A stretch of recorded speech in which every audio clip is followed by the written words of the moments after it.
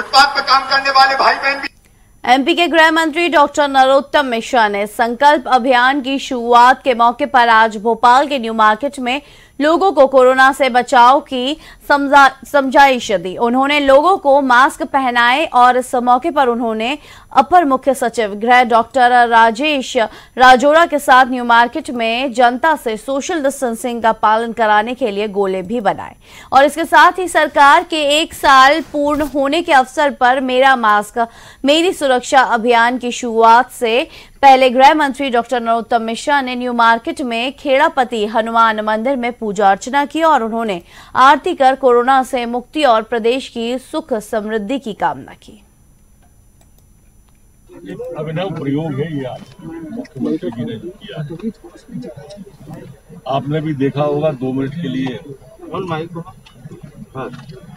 भोपाल थम गया जी क्या कर मध्य प्रदेश थमा। जो नहीं थमा, उसने थमा हुआ देखा। तो पूछा, क्या हुआ? जब पूछा तो पता चला कि लापरवाही बर्दाश्त नहीं है।